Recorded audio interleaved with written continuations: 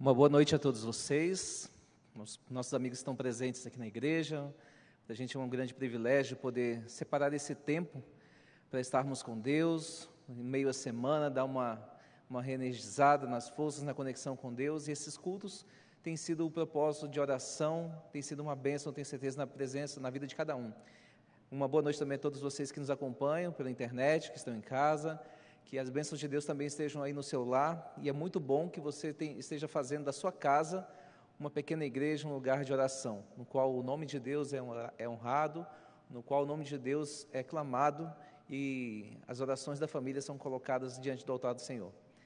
Meu nome é Wanderson, sou capelão ali no Cevisa, sou pastor já há alguns anos ali, e o Cevisa ele tem recebido sempre pessoas de diversos lugares, e a gente tem um propósito de sempre de apresentar às pessoas uma alternativa de vida diferente, baseada na qualidade de vida através de recursos naturais que Deus nos deu, de dons naturais, fazendo uso principalmente dos oito remédios naturais que a Igreja Adventista tanto divulga e que fazem parte da vida de muitos membros.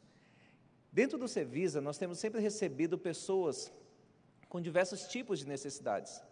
E uma das que a gente sempre costuma receber tem a ver com pessoas que têm um pensamento disfuncional. O que é um pensamento disfuncional? É um pensamento que não está funcionando da, da maneira adequada, dentro de um padrão saudável que eles devem ter. E muitos deles acabam apresentando quadros que a psicologia define de crenças irracionais. E isso a gente encontra na Bíblia, porque o próprio Paulo já diz né, em Romanos no capítulo 7 que é o bem que ele quer fazer, ele não faz, mas o mal que não quer fazer, ele continua fazendo. E ele diz: Olha, porque nem eu mesmo compreendo o meu modo de agir. Então, muitas pessoas que recebemos lá têm comportamentos, têm atitudes na sua vida diária que elas não conseguem reconhecer o porquê, o como elas estão reagindo, por que elas reagem daquela forma. E a gente tenta, através das inúmeras atividades ali, transformar a maneira de pensar, através, é claro, da ajuda e da direção de Deus. E hoje eu gostaria de propor a vocês a gente refletir um pouquinho sobre isso, sobre algumas crenças irracionais que nós podemos, de repente, carregar conosco em nossa vida. E hoje, né, então o tema central está baseado em Romanos, no capítulo 7, essa maneira de entender o que Deus quer para nós, como devemos agir e nos comportar em nossa vida diária. A psicologia traz como uma base, uma premissa que diz o seguinte: nossos pensamentos, a grande parte dos nossos pensamentos, vão ditar a nossa maneira de agir, de se comportar. Então, aquilo que eu costumo pensar cotidianamente vai me levar a uma atitude, vai me levar a uma ação. Por isso que a psicologia diz que é tão importante que os nossos pensamentos estejam alinhados, estejam funcionando de uma maneira é, que vai trazer qualidade de vida e funcional para o ser humano. E aí a crença irracional, ela é na verdade uma crença que é baseada em enganos, em, em, em leituras, vamos dizer assim, erradas, distorcidas que a gente faz da nossa vida. Então, muitas vezes nós agimos de determinada maneira porque nossos pensamentos estão seguindo aquele padrão. E para que eu molde, que eu possa mudar então a minha maneira de agir, o meu dia a dia, o meu cotidiano, eu preciso então mudar a maneira que eu penso. E aí está um grande desafio para nós, seres humanos, né? mudar a corrente dos nossos pensamentos. Então, é importantíssimo a gente entender aquilo que a gente pensa. E o que, que é uma crença? Uma crença, segundo a psicologia, é uma, é uma, vamos dizer assim, é um estado psicológico a que o indivíduo adota e se detém a uma proposição ou uma premissa para a verdade ou ainda aquilo que é uma opinião formada ou uma convicção que ela tem. Se a gente analisar bem, é quase o mesmo conceito de fé, uma crença, você ver algo, você acreditar em algo e você agir em função daquilo que você acredita. Olha só essa imagem aí. Você está acompanhando pela internet, você que está aqui também conosco presencialmente. Se você olhar essa imagem, eu pediria para você olhar e tentar contar quantos pontinhos pretos essa imagem possui. Tenta dar uma olhadinha aí e conta essas imagens, quantos pontinhos pretos ela possui. Eu não sei se você teve a mesma percepção que eu, mas muitas pessoas, quando a gente olha essa imagem e a gente tenta focar no pontinho preto para contar, ele se torna em branco. É porque, na verdade, a imagem se trata de uma imagem que a gente chama de ilusão de ótica. Na nossa visão periférica, a gente consegue perceber esses pontos pretos. Mas quando a gente foca né, na nossa visão focal, ele some. É porque, na realidade, eles não existem. Eles não existem na imagem, pontinhos pretos. Mas como assim? Se a gente consegue enxergá-los, mas eles não existem. Os, as crenças irracionais muitas vezes funcionam da mesma maneira. É algo que a gente faz uma leitura, para nós aquilo é uma verdade, vamos nos comportar de acordo com aquilo, mas ela não é uma realidade. Então, muitas coisas, nem tudo que nós acreditamos é verdadeiro. Nem tudo que acreditamos é verdadeiro. E aí, essa é a definição de uma crença irracional. Ela é uma crença que é baseada em um engano. Fazemos leituras erradas das coisas ao nosso redor e vamos agir de uma maneira errada, que é contra aquilo que nós talvez gostaríamos de agir. Então, é uma crença baseada no engano. É uma interpretação, a crença irracional geralmente é uma interpretação errada que nós temos acerca de nós mesmos, ou seja, eu olho para mim como ser humano e eu vou dizer o seguinte: eu não sou capaz de fazer isso eu não sou bom em coisas A, do tipo A, B ou C, ou eu nunca vou conseguir aprender determinada coisa. Então, é uma leitura errada que nós fazemos de nós. Também fazemos leitura errada acerca das outras pessoas. Fulano é assim, Beltrano é assim assado, e a gente acredita que os outros vão carregar defeitos que a gente tem na mente, baseado numa leitura talvez distorcida do comportamento dessas pessoas, que vão dizer assim: olha, a pessoa é dessa maneira. E muitas vezes ela não é, não reage, na verdade, da maneira que nós pensamos. E também uma leitura errada sobre o mundo que nós vivemos. A maneira como o mundo interage conosco e como nós interagimos com o mundo. E essa interpretação errada, ela vem aprendida desde o meio no qual nós estamos inseridos. E o primeiro lugar geralmente é a família. Talvez você que está nos ouvindo aí de casa ou aqui presente já ouviu a seguinte expressão de um familiar seu: você não presta para nada, você vive fazendo as coisas erradas, você nunca vai dar certo nisso ou naquilo outro. Infelizmente, essas visões distorcidas acerca de nós mesmos ou das outras pessoas vêm do próprio seio familiar. E nós crescemos e passamos a nossa vida ouvindo essas coisas. Quando vamos para a escola, às vezes a questão de bullying, né, continua essa zoação, continua é, nos depreciando, e a gente vai acreditando nessas coisas que nós vamos ouvindo. E nós vamos agir em função disso. Ah, eu não sou bom mesmo, tá bom isso aqui. Ah, eu nunca vou ser bom mesmo nessas coisas, isso aqui geralmente está bom, ou, ou não vou além disso mesmo e a gente acaba refletindo esse tipo de pensamento em nossa prática. Quer ver um exemplo de crença irracional que é, é, muito conhecido, né? Hoje talvez nem tanto mais praticado.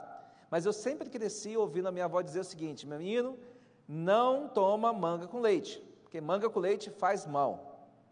E talvez você já ouviu isso também, né? Alguns que tem, sabe aqui já ouviram. E por quanto tempo eu não tomava suco de manga com leite? Por quê? Porque eu acreditava naquilo que havia sido dito, que fazia mal. Então, a maneira como eu pensava, o meu pensamento, aquilo que eu acreditava, refletia em um comportamento direto. É claro que depois a gente sabe a origem desse mito, né, porque que dizem que manco leite não faz mal, mas remonta à época dos escravos, mas é um, apenas um exemplo de como muitas pessoas acreditavam nisso e agiam em favor, em função disso. Então, assim é uma crença irracional. E um dos pesquisadores psicólogos né, dessa área, o Dr. Albert Ellis, ele diz que existem dentro do ser humano três monstros que vão gerar uma série de crenças irracionais em nossa vida. Ele elenca pelo menos 12 que são muito comuns entre as pessoas. E ele diz que esses três monstros que vão dar origem a tudo isso, a todos esses traumas, esses pensamentos distorcidos que nós temos, tem a ver, primeiro, com tenho que fazer bem. A ideia de que nós temos que ser perfeitos em tudo. Tenho que ser o melhor pai, tenho que ser o melhor funcionário, tenho que ser o melhor aluno, tenho que ser, no meu caso, o melhor pastor. E essa obrigatoriedade que nós nos colocamos e que o mundo muitas vezes nos coloca de termos que ser perfeitos em tudo, gera em nós uma série de sofrimentos e adoecimentos da mente, que é, por consequência vai causar reações físicas em nós também. Outro grande monstro é que você tem que me tratar bem. Ou seja, a gente acredita que todo mundo que está ao nosso redor tem que gostar da gente. Esse é um pensamento também distorcido. Não é uma verdade que todo mundo vai gostar de mim. Nem todo mundo vai gostar.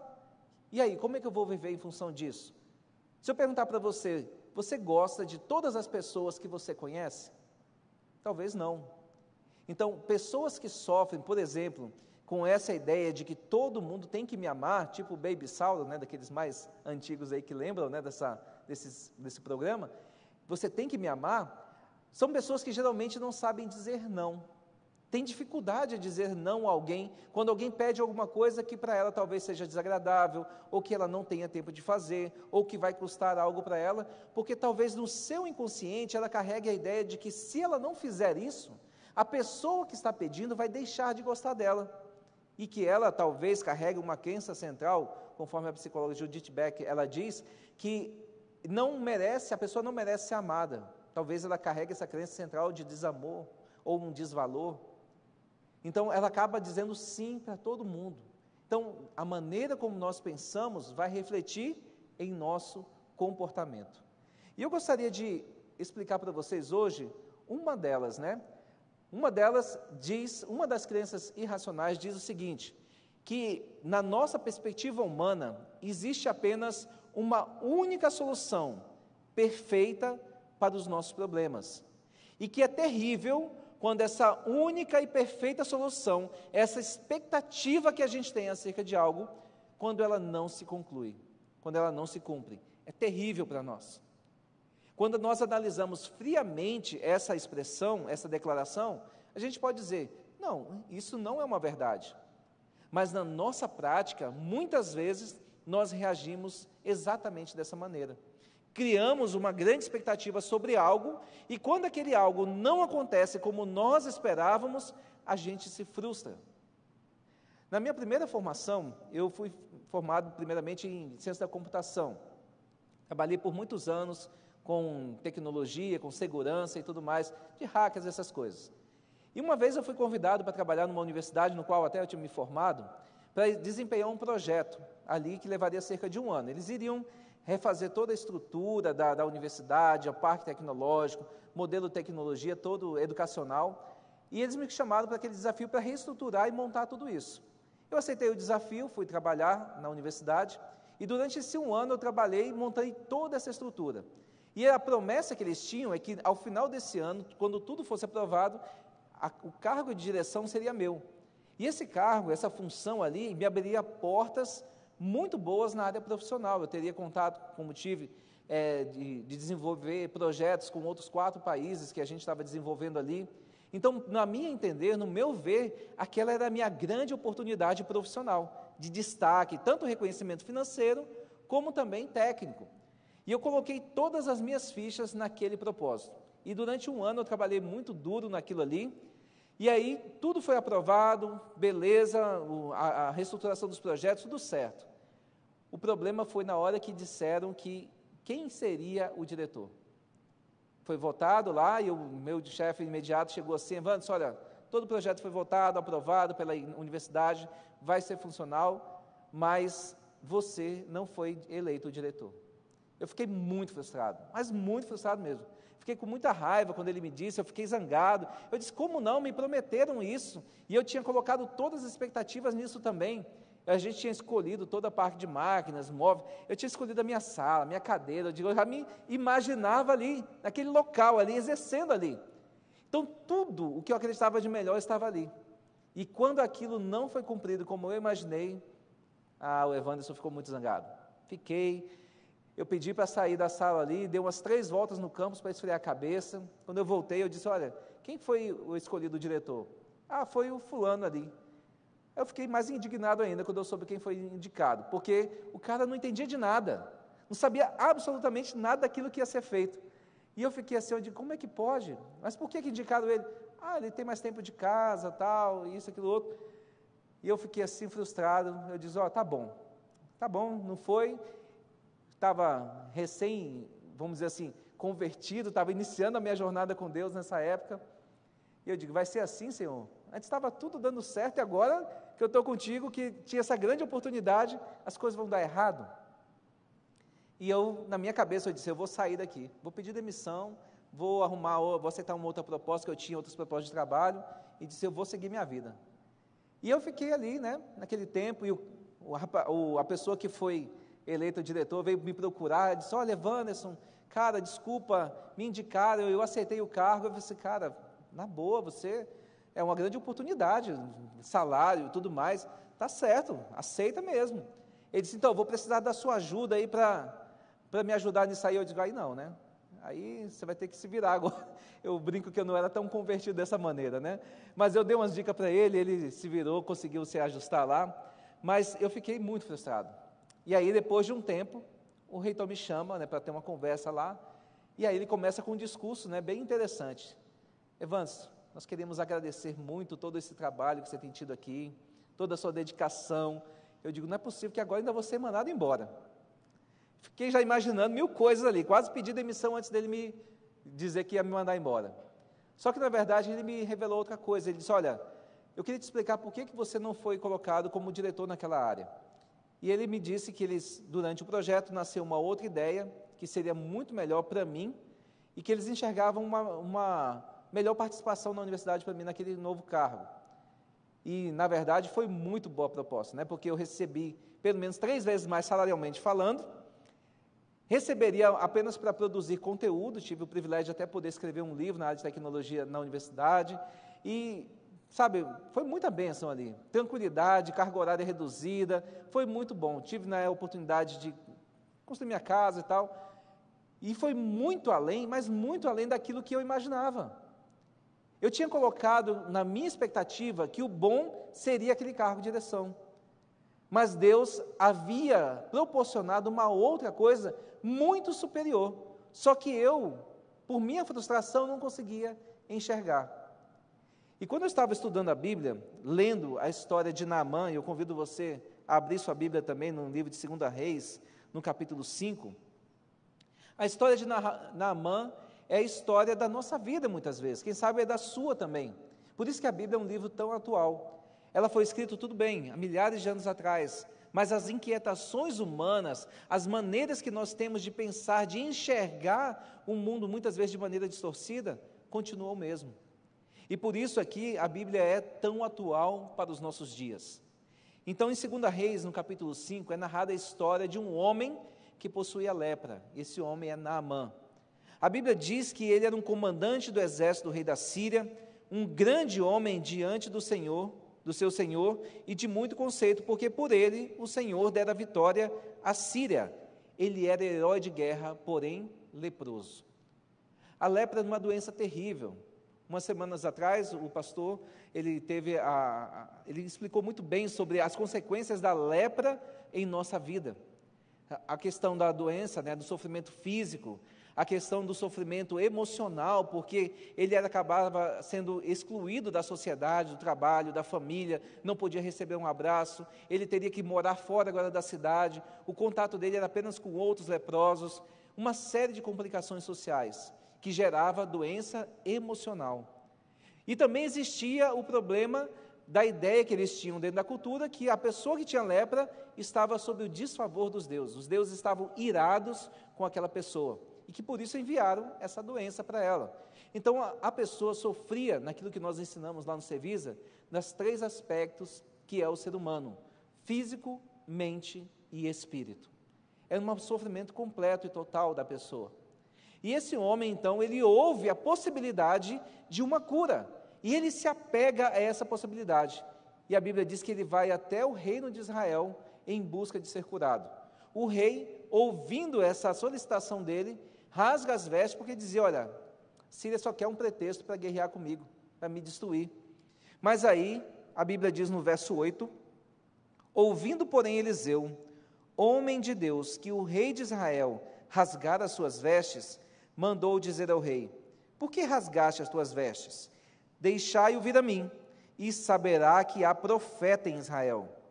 Veio, pois, Naamã com seus cavalos e os seus carros, e parou à porta da casa de Eliseu. Então Eliseu lhe mandou um mensageiro, dizendo: Vai, lava-te sete vezes no Jordão, e a tua carne será restaurada, e ficarás limpo. Olha só agora a mesma situação do Evanderson. O Evanderson aqui da história. Naamã, porém, muito se indignou e se foi dizendo: Olha o que ele tinha na cabeça, expectativas, construiu toda a ação que Deus deveria executar na vida dele. Pensava eu que ele sairia ter comigo, posseia de pé, invocaria o nome do Senhor, seu Deus, moveria a mão sobre o lugar da lepra e restauraria o leproso. Naamã tinha criado na mente dele todo o passo a passo que Deus deveria fazer para curá-lo. E é assim que nós agimos também com Deus. Quando nós nos encontramos em uma situação de dificuldade, nós levamos a Deus o nosso passo a passo. A gente diz, Senhor, eu estou com esse problema, como se Deus não soubesse que a gente está passando aquilo, ou não soubesse com antecedência que a gente passaria por aquilo. E ele diz: Senhor, está aqui o meu passo a passo. Ó, o senhor vai fazer isso, isso, isso, isso. Toma aqui a minha listinha, vai dar certo, só seguir o plano. Deus vai pegar aquela nossa lista e vai ver assim: olha, é, a sua intenção foi boa, mas isso aqui não vai dar certo ali na frente. Por isso, isso, isso. Tá, esse aqui não vai dar. Não, vamos fazer o seguinte: vou jogar isso aqui fora, vou fazer do meu jeito. E creia, vai ser melhor para você. Vai ser melhor. O meu plano é melhor do que o seu. Confie em mim. E quando a gente começa a ver Deus agir em nossa vida, mas não como a gente espera, a gente toma a mesma atitude na Amã. A gente se zanga com Deus.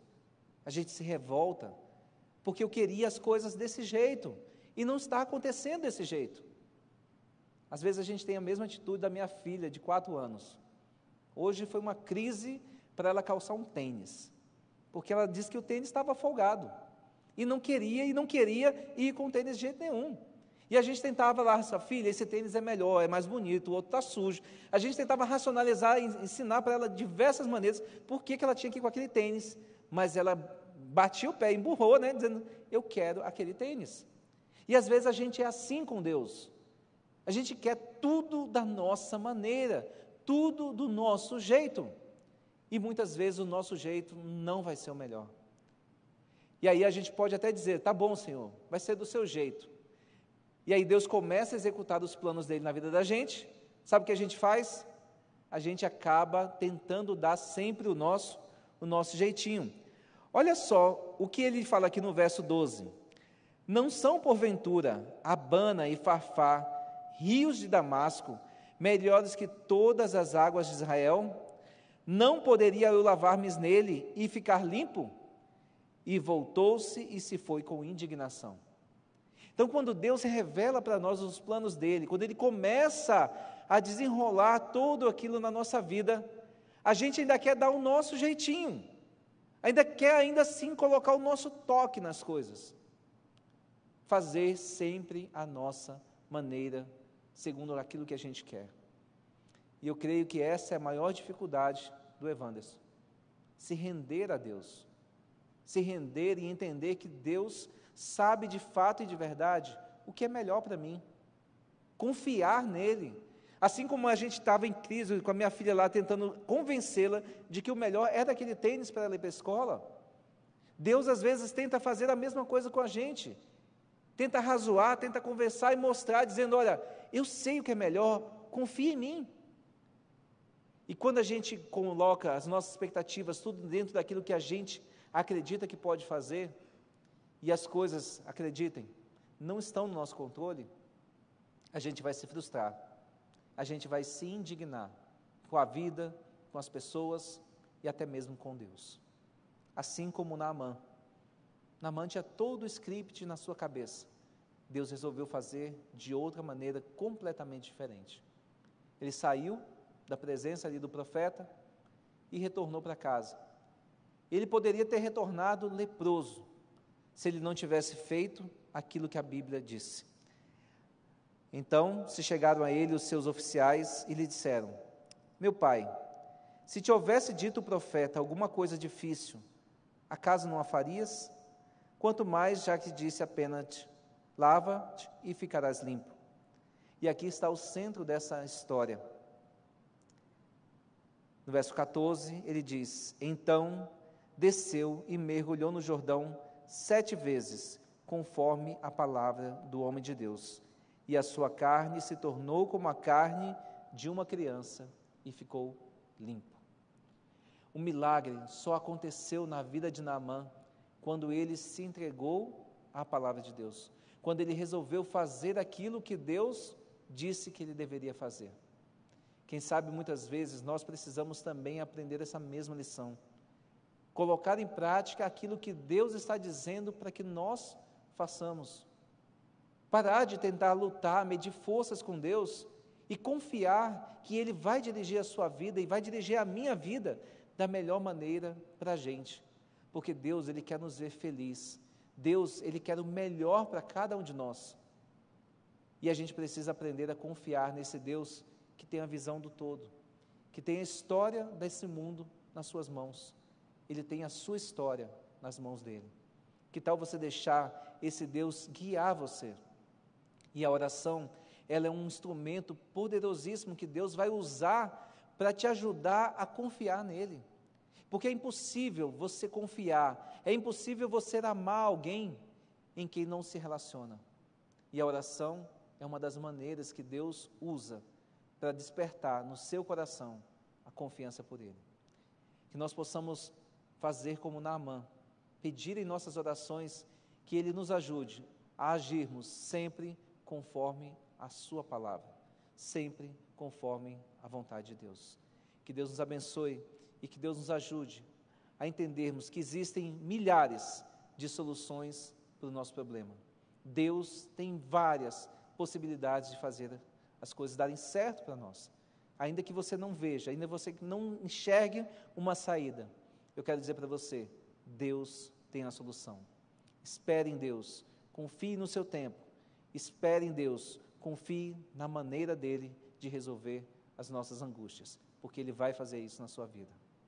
Que Deus abençoe, que Deus nos ajude a termos pensamentos melhores, a termos pensamentos mais funcionais e que assim o nosso comportamento possa ser de acordo com aquilo que a gente espera e o que Deus deseja de nós. Que Deus nos abençoe. Queria convidar você neste momento a fechar os olhos aí onde você está e a falarmos com Deus. Pai, muito obrigado, porque a tua palavra diz que nós conheceremos a verdade e a verdade nos libertará. Essa verdade é uma pessoa, é Jesus. Quanto mais nós estudamos sobre as inquietações do coração humano, mais nós entendemos que a tua palavra possui um assim diz o Senhor a cada uma delas. Frente às nossas expectativas frustradas nesse mundo, frente aos nossos planos que às vezes não acontecem como nós desejamos, o Senhor sempre terá uma maneira melhor de nos guiar.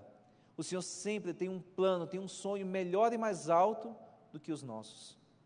Nos ajude, ó Deus, a confiarmos na tua palavra, a confiarmos, ó Deus, no teu método de resolver essa situação. E ainda que a gente às vezes não entenda o porquê o Senhor pede determinadas coisas para a gente, que a gente possa ter a coragem de agir segundo a tua palavra, assim como Naamã um dia também executou. Ele não sabia por que deveria entrar num rio sujo e se lavar. Mas no momento em que ele fez exatamente o que o Senhor pediu, ele recebeu a cura. E não somente uma cura física, mas recebeu a cura das suas emoções, mas também recebeu a cura do seu espírito porque o Senhor desejava mais do que qualquer coisa alcançar o coração daquele homem. E foi justamente isso que aconteceu. Que nós possamos também, ó Deus, permitir que o Senhor alcance o nosso coração a cada dia. Que nós possamos nos curvar frente à tua vontade e a confiarmos que o Senhor sempre, como um pai de amor, vai fazer o melhor por cada um de nós. Dá-nos a tua bênção, desperta em nosso coração a cada dia a confiança em Ti e o amor pelo Senhor. É o que nós oramos humildemente no nome de Jesus. Amém.